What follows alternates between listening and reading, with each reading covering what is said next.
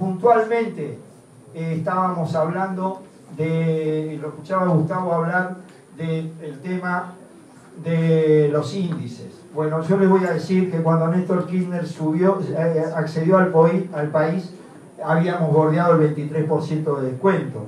¿Se acuerdan de, lo, de perdón, el 23% de desocupación? ¿Se acuerdan de los titulares de riesgo país?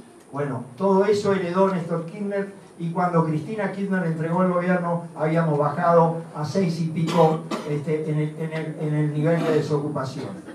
Los despidos en esta provincia se produjeron desde la asunción de este gobierno. Absolutamente. Los 5.000 en el petróleo, lo que pasó con PepsiCo, lo que pasó con Americo, que seguramente los cierres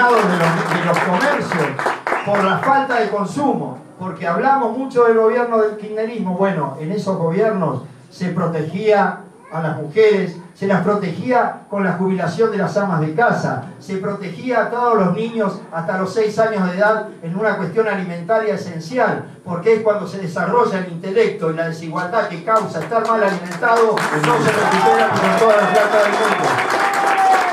En ese mismo gobierno, en ese mismo gobierno, este, se avanzó con políticas fantásticas como repatriar este, como lo dije anteriormente, a los científicos, estos que hoy, hoy están en huelga, por algo debe ser, se los repatrió y terminamos con dos satélites en el espacio. Claro, vino Macri y el tercero se lo cede a una empresa norteamericana.